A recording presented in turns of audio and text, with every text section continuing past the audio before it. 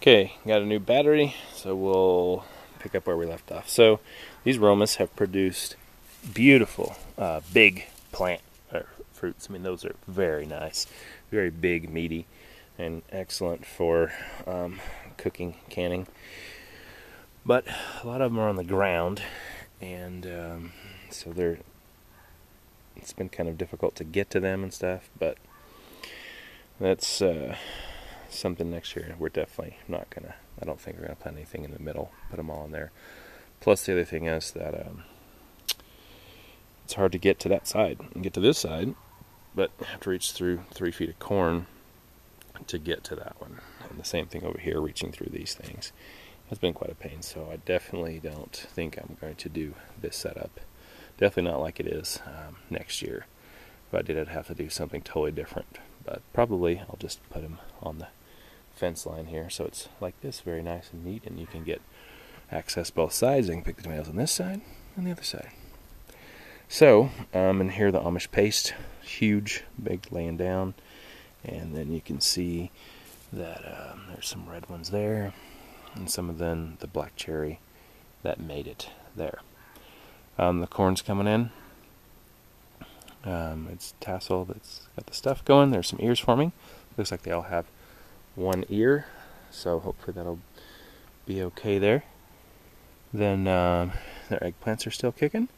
The oh, there's my gets to go on the other side here. I cannot decapitate myself. So the red bell pepper. That is the third red bell pepper I've had for So I'll probably harvest that one um, today. They've been so delicious and sweet. and fantastic. This basil's doing fantastic here. We've got lots of holes in our eggplant, but they're still producing just fine. Um, the giant um, squash here has really, really receded, and it's weird how this hole has opened up here, just like in the front. There was a big hole in the canopy, and it's kind of completely fallen back. Um, I noticed it last week, and I kind of left it alone just to see what it would do. Um, and because there was all these fruits on here, and they are getting a little bigger, but in one week, you know, normally these guys would have produced a dozen, you know, at the peak season. But they are still, that one's getting bigger. Um, over here, there is one that's actually needs to be harvested, and it's this very interesting. It's happened at the end of the season last year, if you can see there. It's not yellow, it's yellow and green. And I don't know exactly what is happening there. But that is what happens at the end of the season. Look at those flecks of green.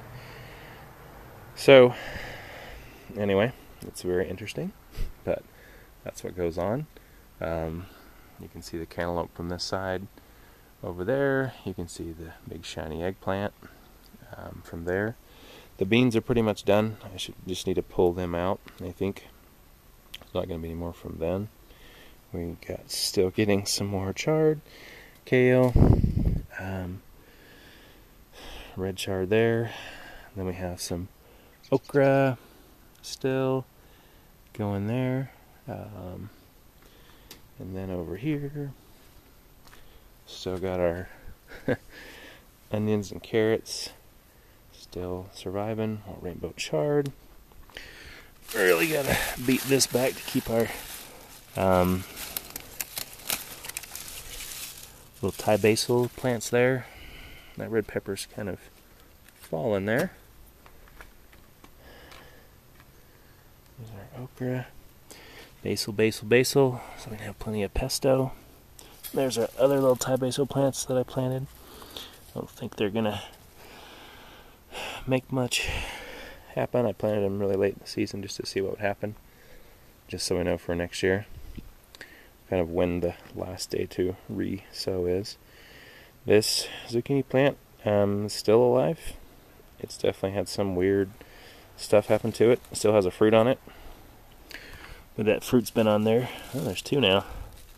For quite some time, so I'm not sure. Um, normally they don't last that long and they grow, so I'm not sure if they're really a true good fruit or just some weird mutant thing. But this thing's still going and still kicking out. So there's another one. I'll get that. It's very huge. Um, but it keeps growing. So as long as they keep growing, I'll keep um, keep harvesting. So I just pulled one off of there, another giant one like that, just a couple days ago. So it's about you know one or two two a week, um, but you know still there. So here with the sunlight and stuff, you can see the the tomatoes a little easier.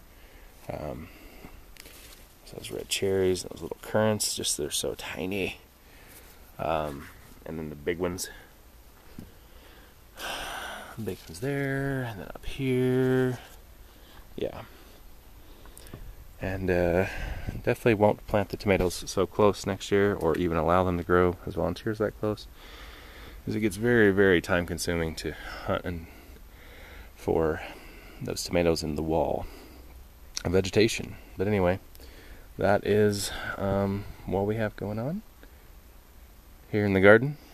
Um, hopefully, we'll have several more weeks before the frost hits, and we'll be able to continue to uh, enjoy all this, especially the tomatoes. We've been enjoying the bounty there, and doing something with them every week, some sort of a canning or cooking project, and uh, it's worked out pretty well.